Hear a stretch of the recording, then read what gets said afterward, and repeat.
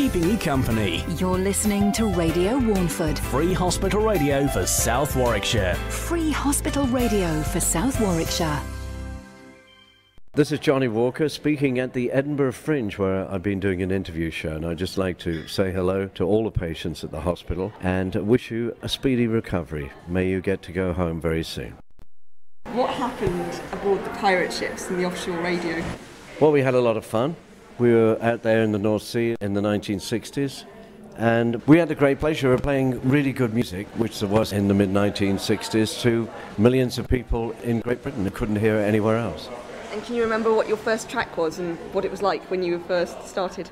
I think one of the first songs I ever played was on Radio England. I think it was A Hazy Shade of Winter by Simon and Garfunkel was one of the first tracks I played. Everybody used to wonder how on earth we managed to play records in the gales when the sea was very rough.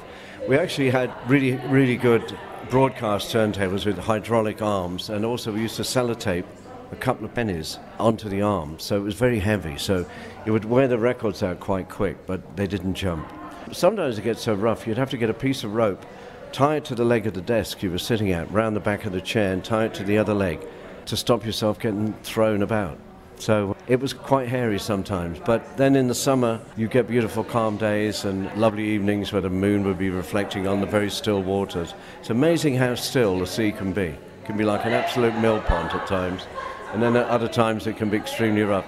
Sorry about all the noise going on here, but we're in the Freemasons Hall in Edinburgh, which for the Fringe has been converted into the New Town Theatre. And I've been doing an interview show. I've just done an hour talking to Kate Adie. And it was a wonderful show. Yeah, it was good. Who's the best person you've ever interviewed and why?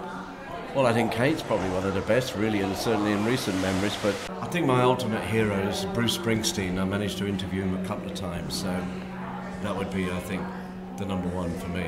Goodness, and what's he like? He's fantastic.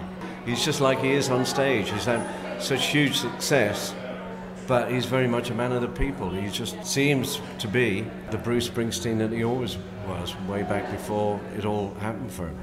I know as a presenter, I suppose you pick your style of radio, don't you, when you're trying to come across in a certain way. What made you decide on the way that you chose to present? Well, when I started, I worked for an American station and it was all very high energy. And we used to call ourselves boss jocks. And we had to grin all the time. So you had to fix a smile to your face and it was all, Hi, this is Johnnie Walker on Swinging Radio England. You know, it's a very American style of thing. And when I got to Radio Caroline, I could just start to develop just being me a little bit.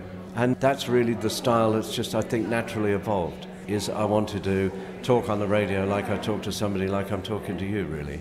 It was just a technique that was right for me.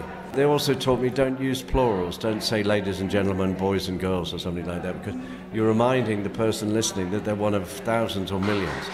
But if you just say, hi, how are you? If you just talk to one person, you can try and make that person feel there's only one listening, and that's them. That's been my style, really. And you've spoken a little bit about how they taught you to grin while you were speaking on the radio. How else did it compare American broadcasting and the way you broadcast on Radio Caroline? Well, it was just the American style. They thought if they bring real American top 40 radio to the United Kingdom, that people would love it. And they would become heroes and the station would do really, really well.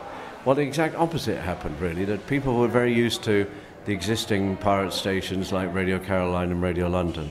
They didn't like these brash new Americans coming on the scene, sort of pretending that they were the number one. So it didn't really work, and before too long, the station owners decided the best way to make money would be to broadcast Dutch programming into Holland because the signal went into Holland as well as it came into the UK. So that's when I changed from Radio England to Radio Caroline.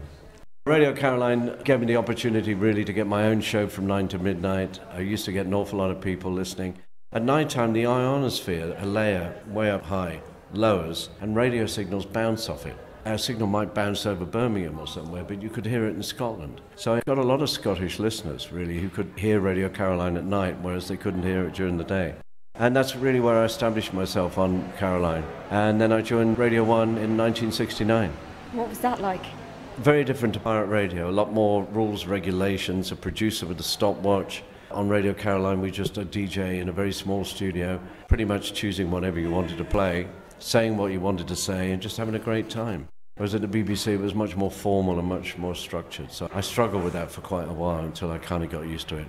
And were you still able to find your groove eventually at the BBC? Yeah, eventually. I, well, I was at the BBC from 1970 to 76 on the 12 to 2 lunchtime show. And I really enjoyed doing that and managed, you know, establish an audience who liked me to play album tracks and new music. Like I was the first person to play the Eagles and Steely Dan and Fleetwood Mac and Steve Harley and Lou Reed and people like that.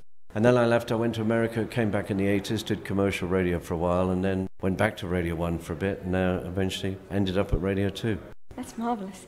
And what's the funniest thing that's ever happened to you, either out in the field or on air?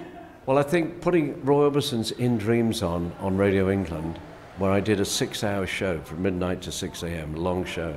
And I couldn't really sleep much during the day, there's so much noise going on on the ship.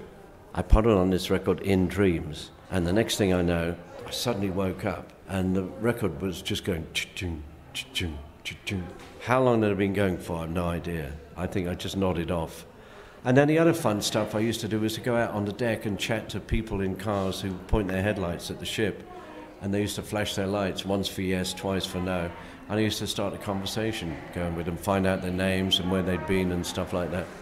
And I got them all to come down to the coastline one night, and I was on deck, and I said, Lights on, and the whole coastline lit up as far as you could see for about 15 miles. Lights off, and it all went dark again.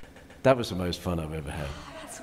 Oh, that's wonderful. Yeah. Gosh, I'd love to do Well, listen, like have a wonderful 40th anniversary, Thank thank you you very very much. much for coming to see us. And I'm sorry I've got to cut it short, but it's not often you get to go and have a drink and perhaps dinner with Kate Adie. Good luck with all that you do at your station. Thank you. Keeping you company. You're listening to Radio Warneford. Free hospital radio for South Warwickshire. Free hospital radio for South Warwickshire.